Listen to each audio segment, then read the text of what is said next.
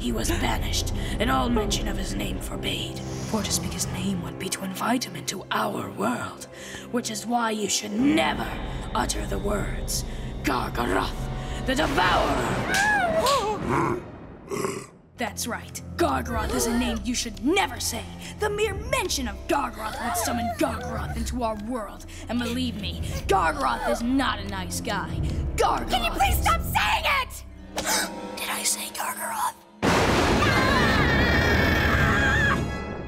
Yeah, that wasn't scary.